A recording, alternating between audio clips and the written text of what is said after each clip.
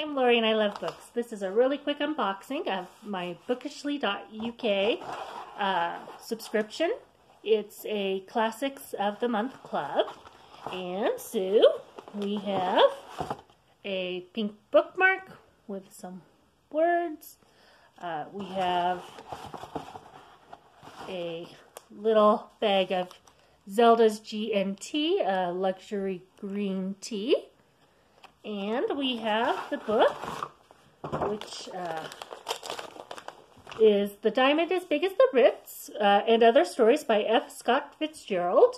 So that is my Classics of the Month Club subscription box.